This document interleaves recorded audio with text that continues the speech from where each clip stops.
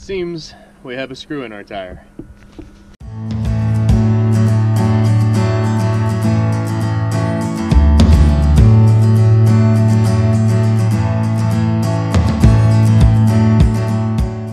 My trailer tire, I have a 13 16 deep well socket.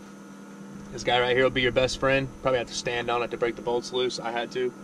Um, and I have to get an adapter to, to drop it down to a, uh, a 3 8 so this is a half inch breaker bar, okay? I have to have an adapter to take it down to a 3 8 so except my deep well socket. Um, my deep well socket unfortunately is a 3 8 I need to get a half inch, um, but it'll do for now. You wanna make sure and loosen the bolts first before you let air out of the tire or anything like that. Um, so what I'm gonna do to loosen the bolts, and I'll let the air out of the tire, um, put a jack underneath it before I do that. So I'll loosen the bolts, put a jack underneath it, okay?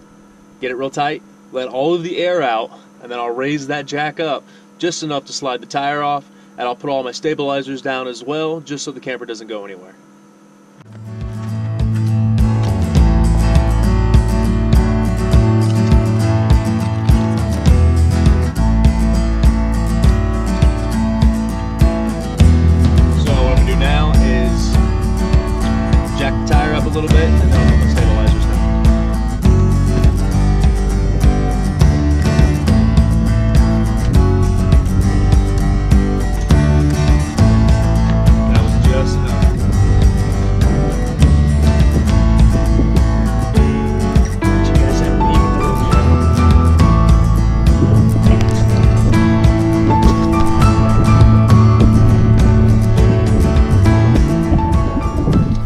Is a little bitty jack. So I'm gonna put my stabilizers down just to give it a little extra support. You don't want your camper going nowhere. That's plenty. Alright.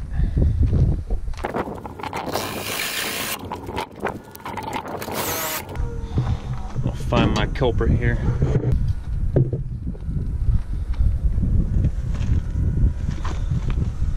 Right there it is.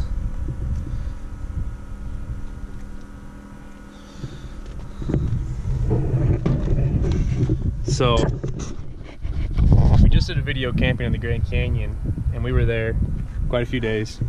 And the last day, I noticed the trailer tire was getting low, and I went over there and inspected it. And sure enough, there's a screw in it, but we had to go. So I aired it up, and uh, we got to Page, Arizona.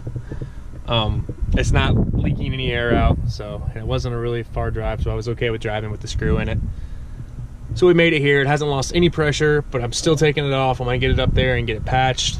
Um, I know it's a very slow leak and it needs to get taken care of. It's very dangerous to drive with a screw in your tire because that spot can actually heat up and pop your tire. Um, I know it wasn't hot, the roads weren't hot yet, um, and we didn't have too far to go though, so I was okay with it. So, I got this off. I'm gonna take it somewhere and go get it patched.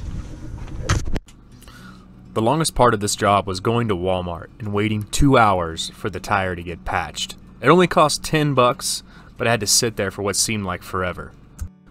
When you put your nuts back on, make sure to do it in a crisscross pattern, kind of like a star pattern. Do the top first, then the bottom, then the left, then the right. Tighten them all down finger tight before you let the jack down. Um, the whole purpose of doing this is to keep your tire lined up when it presses against the drum. So, you know, and then you're not going to strip any of your screws out as well. Um, especially if you're doing it with an air tool, make sure and finger tighten these nuts beforehand. Now, once you have your jacks down, you can go ahead and put your socket on and tighten everything up all the way. Once again, use that star pattern and go crisscross with it just to make sure. You'll notice in the video, I'm using my foot to really tighten it down. The best way to do this is to use a torque wrench. I don't have one of those on hand currently, so I don't advise doing it like this, but if you're in a pinch and you need to, just step on it with your foot and get it really tight. Don't over tighten and break it off or anything like that. Um, once again, the best way to do it is to have a torque wrench and to know the specs for your tire and trailer. Thanks for watching Mountaintop Adventures. Make sure to subscribe to our channel and check out all of our other videos. God bless and happy travels.